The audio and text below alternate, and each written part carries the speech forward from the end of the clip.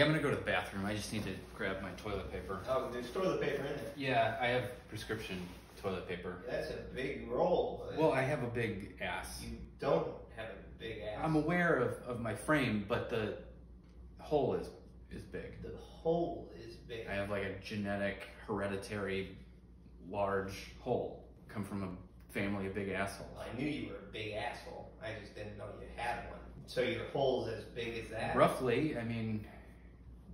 I'm gonna go grab my rock climbing gear and we can go spelunking. my proctologist made that joke. It's easy to get your prostate checked. The doctor can just walk right in. Really don't even have to go to the doctor. I can just check it myself with a mirror. Big roll for a big hole. Well, the upshot is pooping is like a one second affair because everything just fires out like a bowling ball. working on a 12 pounder right now. I- I'll be back. I just.